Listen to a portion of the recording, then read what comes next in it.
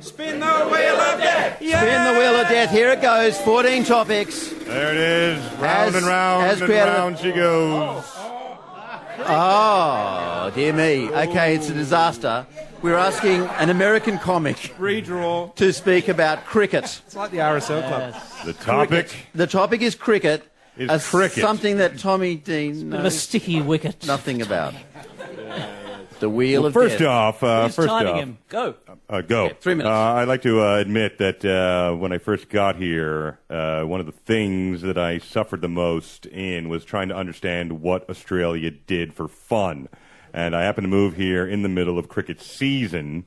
And many men that I met at the barbecues that I was being introduced at uh, talked about cricket uh, a lot, as if it was the most exciting thing that men could get together and do.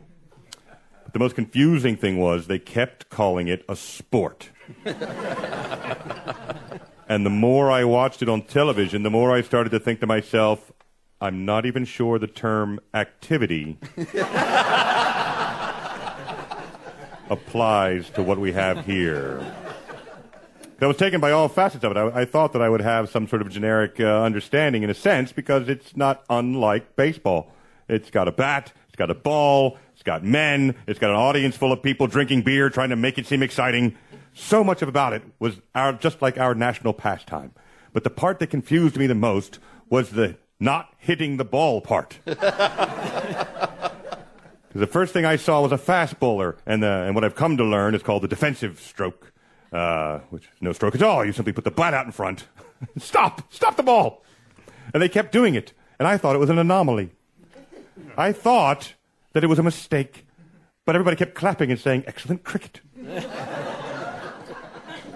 I thought for the longest time that maybe, you know that feeling in golf? You know when you play golf and you, and you pull out the driver and you take your big, big swing and you swing through the ball and you barely hit the ball and it goes about six inches and it feels terrible. I thought cricket was a sport designed to take that feeling and make it a positive. He barely hit it at all. And my thoughts were confirmed when later, eventually, the batsman, in my mind, appeared to make a mistake. He actually hit the ball. He hit it so hard that it rolled all the way to the fence, and he didn't even run. and I thought, how lazy are these people? Like everything about it, I had a great deal of American attitude about the entire sport uh, once I started seeing it. Uh, so much about it, to the fact that they kept checking the ball to see if it was still round enough to play with.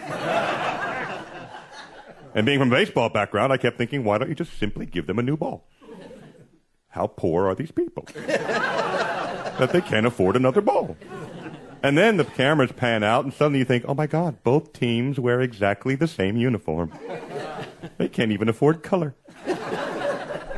How poor are these people? Everything about it seemed poor. But then, then my faith was restored. My faith was restored because I knew there had to be a reason that you loved this game. And the day that I figured it out was a day that sits forever in infamy in my mind is when I understood Australia.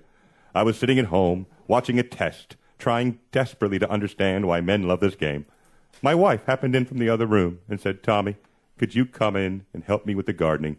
And I said, sure, baby. As soon as this test is over.